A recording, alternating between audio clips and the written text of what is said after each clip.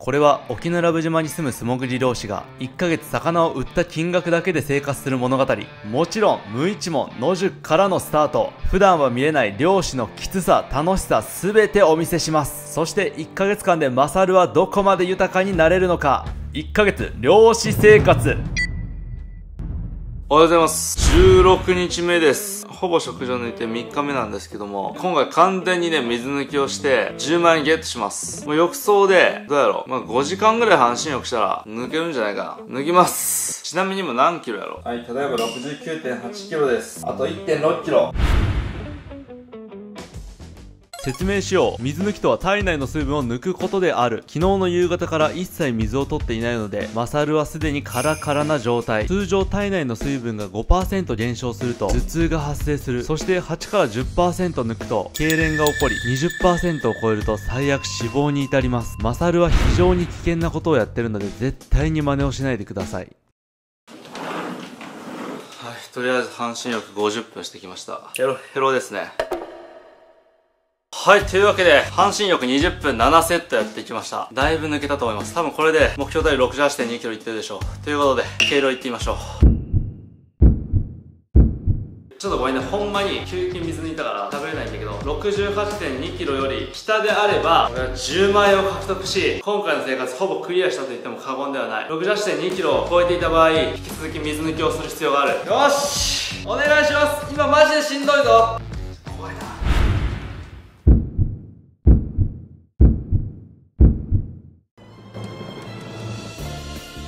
いきなり始まったダイエット企画。ダイエットの知識なんて全くないけど一切の妥協なくこの16日間を生き抜いてきた。1 0キロ痩せるなんて無謀だって何回も何回も言われたよ。だがそれはあなただったらって話だろ今日記事見た執念さえあればできないことなんてない。俺にはできる。そう信じてやってきた。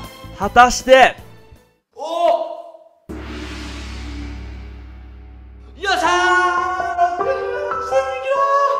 くない？16日で10キロ落とした YouTuber まあまあなかなか YouTuber 界最速なんじゃない？知らんけど。これがビフォーアフターなんですけどあの顔注目してほしい。もう面構えが変わったよね。よく頑張ったと思う。あー疲れた。あーダイエット生活。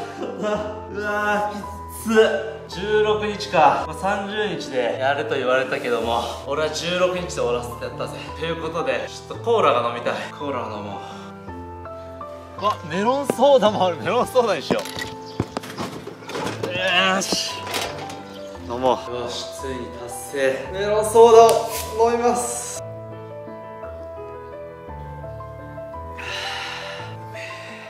めちゃめちゃうまいじゃんメロンソーダ。そしたらアイマッスルのところに10万円をもらいに行きましょうか。10万円をもらいに行ってお母様への5万円を返してそして机を買いいろんなものを買い豊かな生活を残り14日間過ごしていきましょう。とりあえずアイマッスルに報告や。いやついに1 0キロ痩せましたよ。10万円もらいに来ましたよ。アイマッスル。1 0キロ達成しましたよ。えもう達成したんですか？もう達成しました。えまだ16日ですよ。そうっす。もう16日で余裕でした。10万円もらっていいですか？わかりました。おめでとうございます。おお10万円。いかつ！どうぞ。ありがとうございます。皆さん10万円をゲットしました。これで母親の借金を返し豊かな生活ができる。そしてこのダイエット生活もあとは維持するだけ。もうこの企画終わったようなもんでしょ？マサルさん。なんでしょう？なんか喜んでますけど。はい。第2章用意してます第2章。なんすか？はい渡さん。今日から船を解禁です。マジっすか？うわこれはでかいぞ。船を使用できるってもう1段階漁師として上がりますからねグレードが。えそれだけですか？この第2章3つの目標をクリアしてもらいます。えまた？また目標ですか？1つ目素潜りの深さ、はい、最高記録を更新してください。なるほど。面白い。じゃあ今 22m ぐらいが僕最高なんですけどどうします？25m で。25m25m ってあれですよ。25m プールと一緒ですよ。25m プールブーンってもう息なしで潜っていってタッチしてもう一回戻ってくるのと一緒ですよ。視聴者が見たいんです。やってみせましょう。もちろん安全に十分注意して、はい、お願いします。任せてくださいじゃもう一つ。はい。おそらくまだついたことのない魚。GT10 キロお願いします。GT むずいぞ。GT ね。まだ取ったことないですからね。もう着いた瞬間にスパーンってあの水中銃吹き飛ばされてもう毎回回収できないんですけどね。うーん。あとたった13日で GT を。なかなか難しいこと言いますね。もう一つ。マサルさんが追い求めてる。磯マグロ。はい。今最高何キロですか？5.5キロぐらいです。10キロ以上お願いします。10キロ以上か。魚って10キロ以上になると途端に難しくなるからな。できないんですね。いややります。えなんかこれをクリアしたら何かあるんですか？一つクリアすると電動リール解禁です。マジっすか？電動リール使えるようになったらマジで激アツですよ。カンパチとかあの青物系上がるようになりますからね。40キロとかを超える魚を取れるようになってきますよ。熱いなマジで漁師って感じやな。二つ目クリアするとボンベを解禁しますなるほど。潜水機両免許持ってますからね。僕ボンベ使えるんですよ。素潜りじゃなくてね。ボンベ漁師できるんですよね。ボンベだと結構狙える魚また変わってきますよ。これは面白いな。ボンベやりたいな。うん俺それ用にニュージーランドから水中銃買ってきてるんだけどな。使えるかな？じゃあちなみに3つクリアしたら何ですか？3つクリアすると100万円です。100万？もう今の時代もうテレビとかもしょうもなって100万とか出さんくなってきてる中100万？マジっすか？もう絶対全部クリアしますわ。でちなみに1つもクリアできなかったら全身坊主です。嫌やな。全身ってのが嫌なんよ。まあ3つクリアできるでしょう。船があればいい魚のポイントまで行きますからね。で今からもう船で行ってきますわ。雨ですけど。視聴者のために頑張ってきてください。任してください速水さんの胃袋 GT でパンパンにしてあげますお願いします。はい、ということで港に到着しました。今日はですね、海からエントリーできますよ。もうほんと陸からね、海入るのってめちゃめちゃ大変なんだけど船があればね、超楽です。今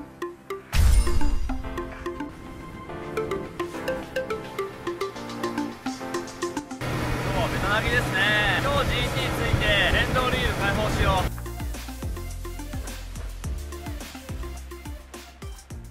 今回のということで始まりました第2章初めての素潜り。今回向かったのは島の一級ポイント。えもう最初に言っておきます。もう今回やばかったです。はい。激アツの海でした。えー水面見てもらったらわかると思うんですけどこういう波が打ちつける場所にね回遊魚がいるんですよ。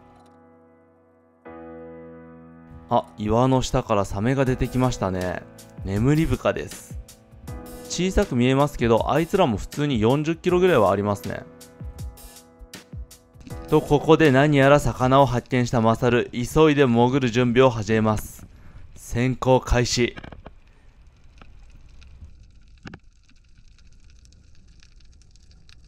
こいつはなかなか大きい。ヒット。とここで GT が降臨。霞味をついてたければ GT がつけてた。くっそー。GT いたじゃん。うわー。いやーこれは悔しいですね。とはいえ霞味も結構でかかったですよ。と油断してるとまさかの逃げられてしまいました。さてどうするマサルシャフトを手繰り寄せもうそのままシャフトで突きに行くことに。それでいけるのか？狙いを定めてヒット!もうパワープレイですね。はい。でなんとか抑え込んで回収することができました。いやーよかった。ということでこちらが霞味なんだかんだ俺が取った中で一番でかい霞味ですね。はい。それから回遊魚の姿が全く見えなくて岩の下に潜む根魚を探していきます。ここもね結構深いですよ。18メーターとかあるんじゃないですかね。海底に到着したら周りをくまなく見渡していきます。とここで何か発見した模様。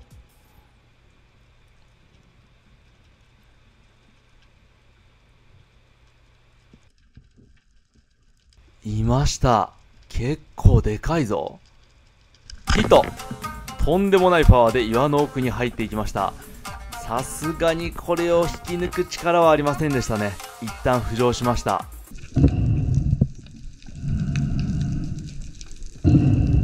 で実は浮上したら息をだいたい3分ぐらい整えるんですね。この息を整えてる間にですねやつが現れたんですよ。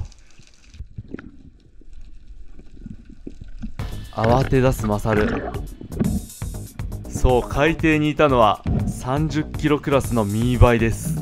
2年に一度ぐらいしか見ることができない超大物です。しかし今水中銃を持っていないので何もできない。あー岩の下に隠れてしまった。まだミーバイは近くにいるはずなので一刻も早く魚を回収しましょう。いやにしても深い。なんであいつをついてしまったんだ。くそー。また眠り深がいますね。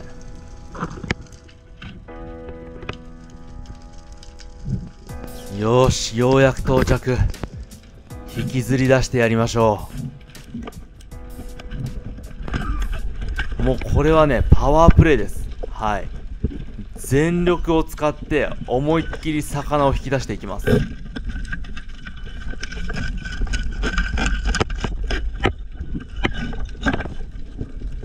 よし抜けました。結構でかそうですね。さて正体は石垣台でした。それも結構でかいサイズ。2キロぐらいあるんじゃないでしょうか。これも十分大物ですね。さて30キロのミーバイはいるのか。あいつが入っていった岩の穴の中を探していきます。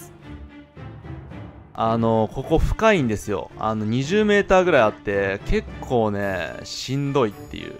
うん。そしてミーバイの姿は見当たりません。うんでもどっかにいるんやろうなこれ。悔しいな。うーんあれをつきたい。なんなら GT より全然つきたい。いないか。そうか。仕方ないので不条ですね。ということで今日は一旦帰ることに。はいというわけで本日取れたのはこちら2個ですね。今回はね GT 狙いでだいぶ濁った目に来てなんかちっちゃいのついてそれを回収してる間に GT 来たら嫌やなと思って大きいのだけ狙ってたら霞味打った瞬間にまさかの GT がねあれ20キロぐらいあったな。でこの石垣台はまあまあ大きいんだけど石垣台打った後に上で多分これ動画映ってるかな？GoPro 映ってるか映ってないかぐらいだと思うけどマジででかい。初めて見た。多分あれ30キロぐらいある B バイいて超興奮しましたけど取れなかったですね。まあでも今日この2匹ということで。いやー GT でも今するから他の魚をつかずに GT が来るまで待っとけばつけるはずマジで GT つこうはい、ということで戻ってきました。いやー、やっぱりね、やっぱ GT 狙いの場所に潜りに行くと、サイズがアップしますね。っていうか、でかいのしかつかなくなりますね。いやー、でもあの GT 惜しかったなしかもクソデカミーバイもいた。うわー。悔しがってるけど多分これ釣りでもし釣れてたらめちゃめちゃ喜ぶレベルよね霞アジ結構でかいよほら結構でかいんですよ。7 0センチぐらいあるんじゃないかな。こんなんもう釣り人の憧れでしょ。さて何キロあるでしょうか？5.5キロ。5.5? 霞で5.5は結構でかいな。あんまねこの魚でかくなんないんですよ。10キロとかは見たことないですね。5.5これマサルが今まで取った霞アジの中で一番でかいです。記録級ですね。そして石垣台1.8合計 7.3kg これ両方とも500円か。渋いな。3650円。3650円ですね。船代3000円と車代2000円でマイナスですね。はい、ということで今日は昨日熟成させておいた石垣でをね食べようと思います。そしてまずねお米から炊きましょうか。てか飯合っていうのがね結構なんか何気に辛いですね。いっぱい炊いておにぎりにしていこうかな。水を入れていきます。4号って直火でいいんかな？はい次石垣台をさばいていきましょう。疲れって言葉は私の自信ないですからね。こちら石垣台です、まあ、熟成といっても1日だけなんでね、まあ、熟成と言わないレベルではありますね。ちなみに魚の主要な旨味成分イノシン酸はですね、まあ熟成から1日後か2日後ぐらいにね結構多くなるらしいんで、意外と魚っぽい味を味わうんだったら1日目2日目の熟成でもね十分かもしれません。いや。これまだ熟成始まってないですね。死後硬直してます。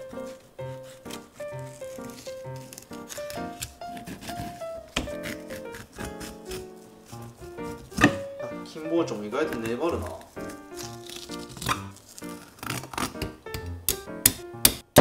めちゃめちゃうまそうじゃん。でこいつはバター焼きにしていきましょう。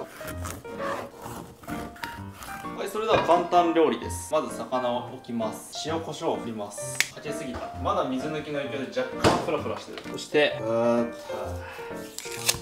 はい今日も女性視聴者がまた一人また一人と減っていきます。よし。で焼いていきます。でこれを待ってる間に食器を調達しに行こうかなと思います。島の古民家にはですねビビるぐらいね食器が残されてるんですね。撮影部屋に捨ててある食器使っても構わないとね言われてますんで取りに行きましょう。無料です。はいそしたら撮影部屋に来たんですけども、まあこういうね押し入れとか開けるとねめちゃめちゃね皿が残ってるわけよ。ほら。おいいじゃん。いいのが残ってますこれで味噌汁が飲めます。そしてうわお月見もできるじゃん。おお新品のグラス。これはもう2つぐらい持って帰ってこうかな。やばい無限にある。これなんやろうな。おおめっちゃいいじゃん。しかも新品じゃない？なんでこんなに新品でいっぱい物買ってるんだろう。使わずに。掘り出し物だ。おこれ重い。なんだこれ。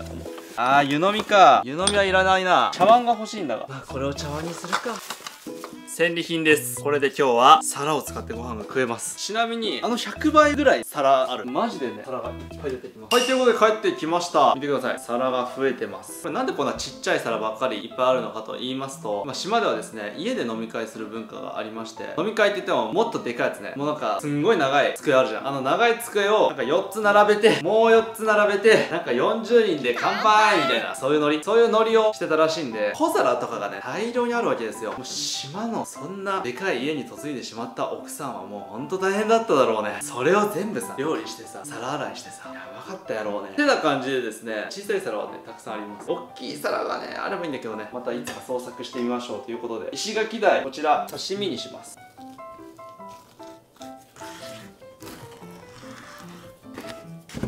明日の朝ごはんに置いておこう。いい密室だ。おおいいね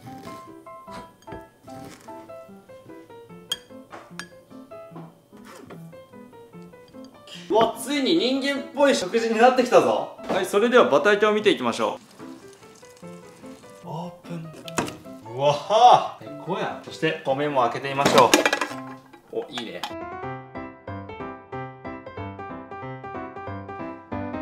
はいそれでは完成しました。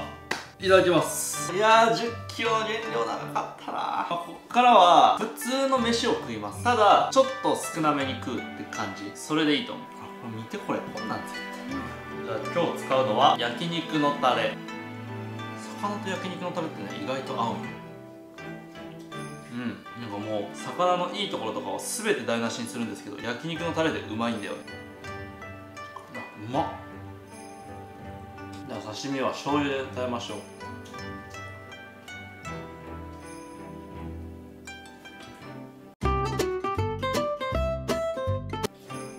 いやこの醤油では普通に美味しいね。ただ熟成が全く足りてない。全然熟成されてないな。い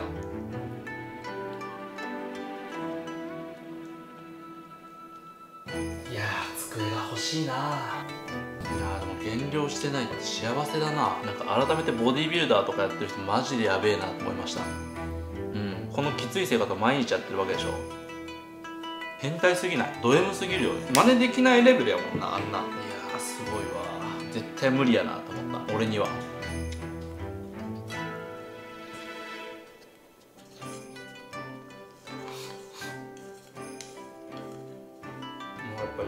はいそれではごちそうさまでした。いや石垣だやっぱうまいな。この普通に食える感じがめちゃめちゃありがてえ。で今回ね10万円を獲得しまして、まあ、机と食器用洗剤とかもうなんかもうないとしんどいものを購入してそしてですね、まあ、この生活中ね圧倒的に野菜が不足してるんですよ。なんで野菜をねちょっとね商店に買いに行って夜はゆったりとしたね体に優しいディナーを食べようかなと思っております。はいということでね今回第2章が始まるということでね聞かされてなかったんですけどもう僕は終わる予定だったんですけど。まあでも確かにね。GT ロー。ニン味はね俺がいつかついてみたいとずっと思っててまだつけてない魚の一つなんで明日本気で GT 狙いに行こうかな、まあ、回遊魚狙いをすると回遊魚以外取れないんでね。もう0か100かよ。もう0100の勝負に出ます、まあ、今日 GT ね霞足ついてなかったら GT つけたよな。GT 以外のね魚に惑わされずに絶対に GT を使おう。ということでなんか最初の頃より企画が楽すぎてなんかまだもう一発海行けるぐらいの元気さ残ってるよね。でもそれぐらいがちょうどいいよね。なんか今本当にああ仕事終わったし今からジム行って酒飲んで帰ろうかなみたいな。そんぐらい元気ある。もうジムわざわざ会社帰りに行くってそれなりに元気な日や。さらに飲みにまで行くっていうそんぐらい体力あるね今。どうしよう。寝れる気がしない今日。もう体がおかしくなっちゃったよ。15日間もやって。ということで明日に備えて寝ますわ。明日 GT 何匹つきます ?30 匹